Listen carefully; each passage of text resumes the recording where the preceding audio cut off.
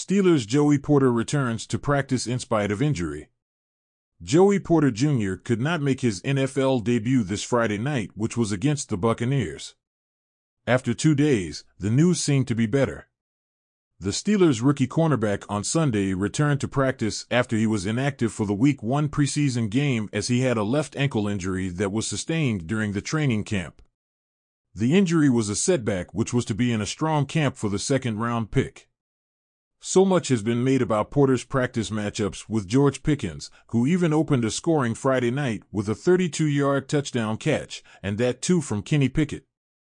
Porter surely had several interceptions during his camp while he was continuing to test his skills against the so called Pickens.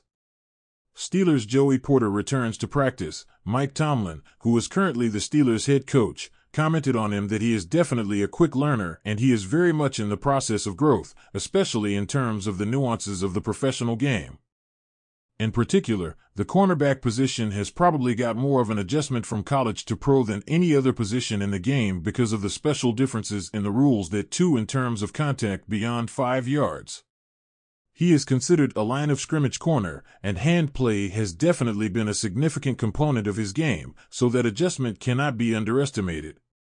He indeed appreciated his efforts and also mentioned that he has been productive enough in the midst of that. Porter surely has a big benefit of practicing against a deep receiving corps that includes Pickens and former Pro Bowlers known as Diontae Johnson and Allen Robinson.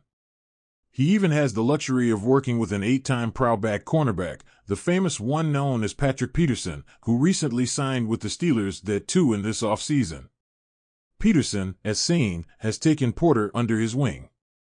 There was a play that recently went viral that involved Porter and Pickens, which took place during a practice last week when Porter was on the wrong end of Pickens' jaw dropping reception. The time when everyone's eyes and attention were on the catch, Peterson took something else away from the play.